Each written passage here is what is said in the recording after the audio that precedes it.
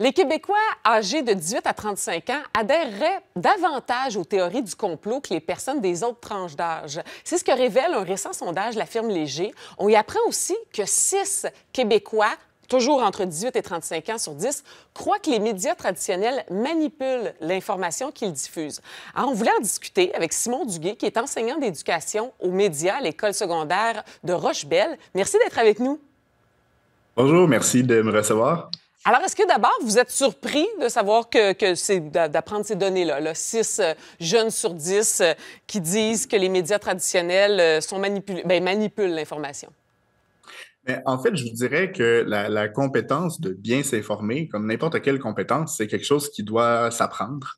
Et donc, c'est quelque chose que si on, ne met pas en priorité dans notre système d'éducation, ben, on ne peut pas s'attendre, comme n'importe quelle autre compétence, qu'elle soit miraculeusement développée. Mm-hmm. c'est entre autres pour ça que nous, à notre école, on a, on a décidé d'enseigner ça à, tous nos élèves là, dans un cours d'éducation aux médias ou d'informatique qui est donné. Mais c'est important de l'enseigner si on veut que les élèves euh, qui vont devenir les, citoyens éventuellement soient capables mm. de, s'informer. C'est quelque chose qui se développe, bien évidemment tous les élèves, ah, ben, bravo, je, vous félicite, c'est vrai, c'est vrai, c'est une très bonne idée. Entre autres, est-ce que vous croyez qu'il y a une méconnaissance de la différence entre être journaliste, être chroniqueur ou être éditorialiste? Et donc, on ne voit pas, on comprend pas lorsqu'un chroniqueur exprime ses opinions que ce n'est pas un journaliste. Mais en fait, ce qui est important, parce que vous savez, le, autant le, texte d'opinion que le texte d'informatif, donc une, une, chronique ou encore un journaliste qui fait une enquête, par exemple, les deux sont des choses qu'on a besoin dans notre société démocratique. C'est super important.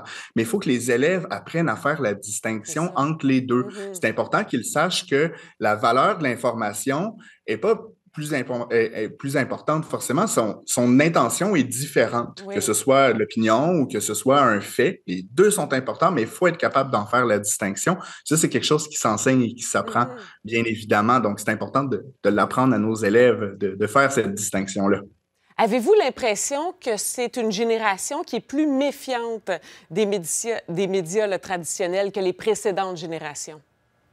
Bien, c'est sûr que je ne peux pas m'exprimer là-dessus. Moi, à titre d'enseignant, je, vais peut-être être biaisé parce que je l'enseigne ça dans mes cours directement à mes élèves. Donc, c'est sûr que lorsque je pose ma question à mes élèves, mais souvent, ils ont peut-être plus tendance à être capables de faire la distinction, comme vous le disiez, entre une chronique d'opinion, un mm. fait, puis sont capables d'aller comprendre et justifier la, fiabilité d'un site parce que je leur enseigne directement. Mais, euh, mais c'est ça.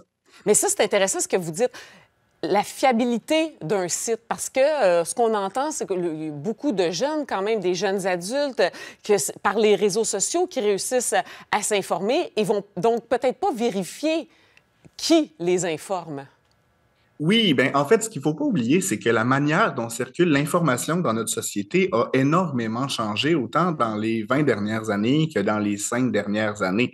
C'est une époque où beaucoup plus de personnes étaient abonnées au câble à la télévision, on recevait à la maison le journal papier, tandis que maintenant, pour beaucoup de personnes, pas tout le monde bien évidemment, mais pour plusieurs euh, jeunes, c'est par les réseaux sociaux que ça va se passer. Et c'est important qu'on adapte nos cours par rapport à ça de cette manière-là je, donnais l'exemple, quelqu'un qui fait des vidéos sur YouTube, bien peut-être que c'est quelqu'un qui est qualifié dans un domaine, qui a un doctorat, qui a fait des études. Il y a des grandes universités qui rendent accessibles leurs cours sur YouTube, sur d'autres plateformes. Donc, c'est pas parce qu'on est sur un réseau social que là, l'information de qualité n'existe pas. C'est juste qu'on doit savoir la repérer que ce soit sur les médias traditionnels ou que sur les, réseaux sociaux, les différentes plateformes en ligne, c'est important d'être capable de repérer cette information-là en se fiant sur des critères qui, bien évidemment, sont un peu équivalents aux médias traditionnels. D'où provient l'information? Est-ce que l'information est récente? Est-ce que l'information est à jour? Est-ce qu'elle pourrait être biaisée? Mm. La personne qui a écrit ça, est-ce qu'elle a un intérêt commercial à donner cette information-là ou est-ce qu'elle est neutre?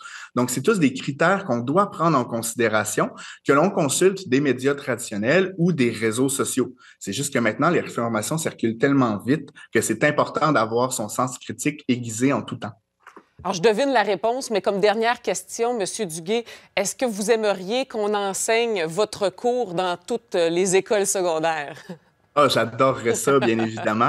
C'est sûr que la lueur d'espoir que je vois, le cours de CCQ maintenant, le nouveau cours de citoyenneté culture québécoise, va intégrer ça dans son mmh. cours. Donc, euh, j'ai très espoir dans la future génération qui s'en vient. Si c'est enseigné tôt et qu'on revient d'année en année, mais je pense que ça va être un très bon geste pour notre démocratie. Ça. Oui, exactement. Merci beaucoup, beaucoup, Simon Duguay. Bravo pour ce que vous faites. Ça fait plaisir. Merci à vous.